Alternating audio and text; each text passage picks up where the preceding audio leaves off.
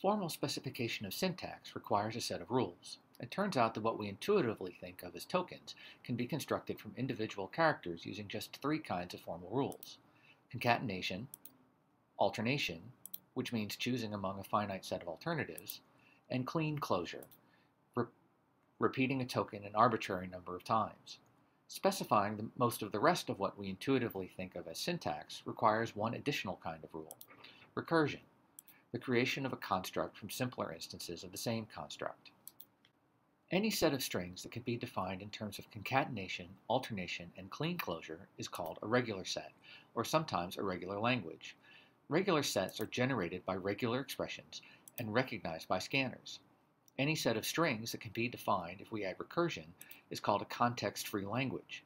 Context-free languages are generated by context-free grammars and recognized by parsers. Terminology can be confusing here. The meaning of the word language depends on whether we're talking about formal languages or programming languages. A formal language is just a set of strings with no accompanying semantics. Tokens are the basic building blocks of programs, the shortest strings of characters with individual meaning. There are many kinds of tokens, including keywords, identifiers, symbols, and constants. Some kinds of tokens, like the increment operator, correspond to only one string of characters, Others, like variable names, correspond to a set of strings that share some common form. We will use the word token informally in this class to refer to both the generic kind of token, a variable name, the increment op operator, and the specific string, foo or plus plus. To specify tokens, we use the notation of regular expressions. A regular expression is one of the following.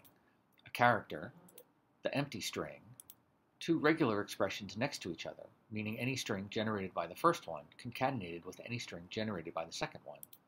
Two regular expressions separated by a vertical bar, meaning any string generated by the first one or any string generated by the second one. Or a regular expression followed by a Kleene star, meaning the concatenation of zero or more strings generated by the expression in front of the star. Parentheses are used to avoid ambiguity about where the various sub-expressions start and end. Consider, for example, the syntax of numeric constants accepted by a simple handheld calculator. The symbols to the left of the arrow signs provide names for the regular expressions. In this case, number is the name of a token. The others are simply for convenience in building larger expressions. Note that while we have allowed definitions to build on one another, nothing is ever defined in terms of itself, even indirectly. Such recursive definitions are the distinguishing characteristic of context-free grammars.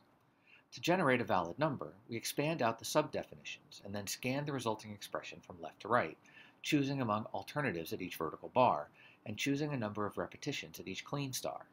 Within each repetition, we may make different choices at vertical bars, generating different substrings. Upper and lowercase letters and identifiers and keywords are considered distinct in some languages and identical in others. With the globalization of computing, non-Latin character sets have become increasingly important.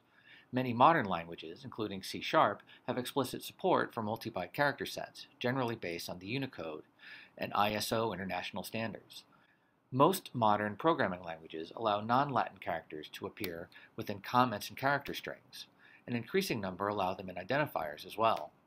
Some language implementations impose limits on the maximum length of identifiers, but most avoid such unnecessary restrictions.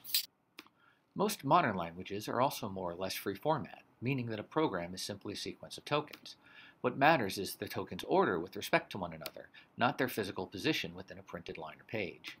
Most, program, most programming languages ignore whitespace, blanks, tabs, carriage returns, and line feeds between tokens, except to the extent that it is needed to separate one token from the next. There are a few exceptions to these rules. Some language implementations limit the maximum length of a line to allow the compiler to store the current line in a fixed length buffer. Line breaks serve to separate statements in several other languages, including Haskell, Occam, SR, Tcl, and Python. Haskell, Occam, and Python also give special significance to indentation. The body of a loop, for example, consists of precisely those subsequent lines that are, that are indented farther than the header of the loop.